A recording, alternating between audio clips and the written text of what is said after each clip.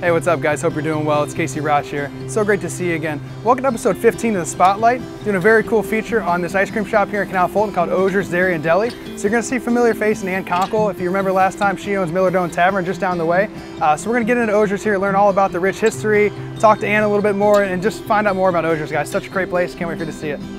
Hello again. My name is Ann Doan Conkle and I am also the owner of Oser's Dairy and Deli. When I um, moved here in 1982, um, I lived just up the street and of course I was young and I had an apartment and I didn't have a laundry so I used to come down to the laundromat behind us here and, and I'd bring my little baby into Ozer's and set him up on the counter and Paul and Millie Oser owned it at the time and Paul always used to give my son a pretzel stick and he used to give his penny and Paul used to tell him to take his penny home and put it in his piggy bank.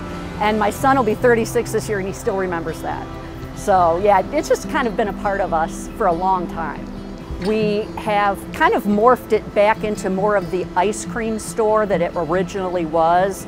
Um, we do still have food. We have wraps and we have macaroni and cheese and hot dogs and coney dogs and stuff like that but we really concentrated on the ice cream and what that could do for the town because that's what Oser's was known for.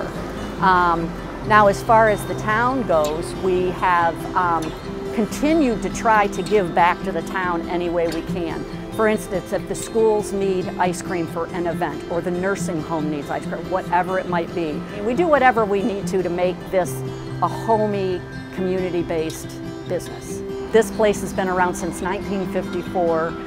Um, it's only been in three people's hands since 1954.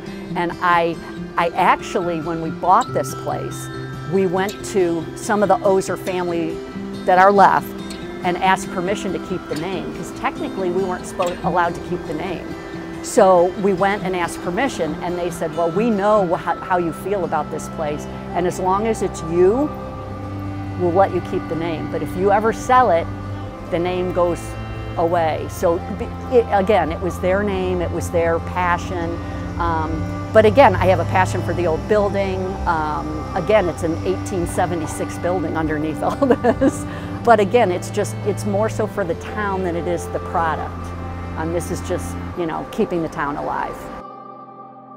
Well, there it is, my friends. Thanks so much for taking the time and hanging out with us today. Got to see all about Oser's Dairy and Ice Cream here, meet the owner, Ann Conkle. And uh, so, guys, everything here is just so amazing. I've been coming here since I was, shoot, you know, a little guy, probably five years old or so, and a place that's always near and dear to my heart. So if you're out and about next time or walking the towpath, please be sure to stop in and see these guys. They got some great ice creams or food if you're on the go for lunch.